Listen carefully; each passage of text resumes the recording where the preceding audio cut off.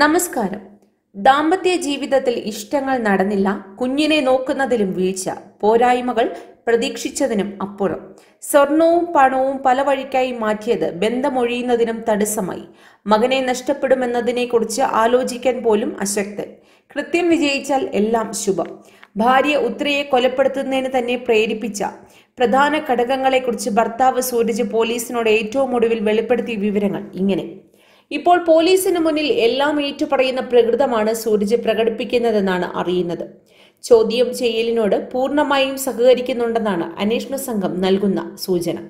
നേരത്തെ നാല് ദിവസത്തേക്കായിരുന്നു സൂരജിനെ പോലീസ് കസ്റ്റഡിയിൽ വിട്ടിരുന്നത്.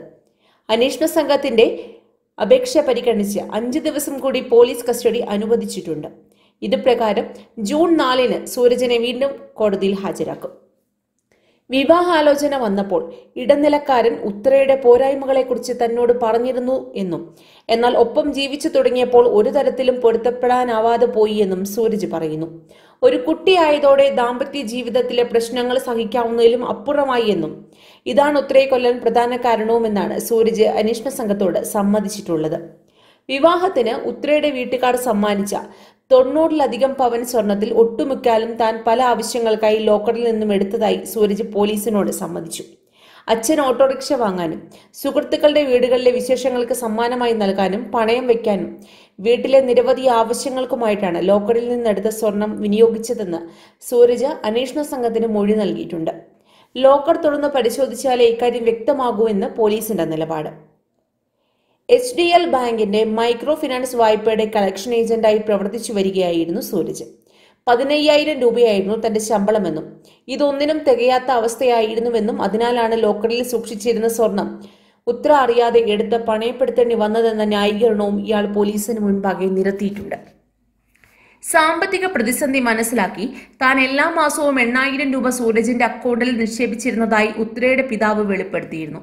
ഇത് ശരിയായിരുന്നുവെന്ന് സൂരജിന്റെ ബാങ്ക് അക്കൗണ്ട് പരിശോധിച്ച അന്വേഷണ സംഘത്തിന് ബോധ്യപ്പെട്ടിട്ടുണ്ട്. ഭാര്യയെ സമ്മർദ്ദങ്ങൾക്കും ഭീഷണികൾക്കും വിധേയയാക്കിയും ദൗർബല്യം മുതലെടുത്തും വീട്ടുകാരിൽ നിന്നും പണം തട്ടിയെടുക്കാൻ തന്റെ വീട്ടുകാർ ശ്രമിച്ചു എന്നുള്ള സൂചനകളും സൂരജ് പോലീസുമായി പങ്കിട്ടു. ഈ വിവരത്തിന്റെ അടിസ്ഥാനത്തിൽ അടൂർ പോലീസിൽ ഉത്രയ്ക്കെതിരെ ഗാർഹിക പീഡനം നടന്നതായി കാണിച്ച് കേസ് രജിസ്റ്റർ ചെയ്യണമെന്ന് കൊലക്കേസ് അന്വേഷിക്കുന്ന സംഘം പത്തനംതിട്ട എസ് പിക്ക് റിപ്പോർട്ട് കൈമാറിയിട്ടുണ്ട്. ഇക്കാര്യത്തിൽ നിയമവശങ്ങൾ പഠിച്ച ശേഷമായിരിക്കും തുടർ നടപടികളെന്ന് Pathanamthitta S P K G Simon മാധ്യമങ്ങളോട് വ്യക്തമാക്കി.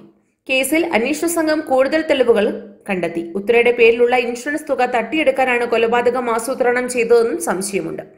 വൻ തുകയ്ക്കുള്ള എൽ ഐ സി പോളിസികളെക്കുറിച്ചും പോലീസ് അന്വേഷണം തുടങ്ങി. സൂരജ് ഉറക്ക ഗുളികൾ വാങ്ങിയതിന് തെളിവായി ഗുളികയുടെ സ്ട്രിപ്പ് പോലീസ് കണ്ടെടുത്തു. പാമ്പിനെ കൊണ്ട് കൊത്തിക്കുന്നതിന് മുൻപ് ഉറക്ക ഗുളിക നൽകിയിരുന്നതായി സൂരജ് മൊഴി നൽകിയിരുന്നു.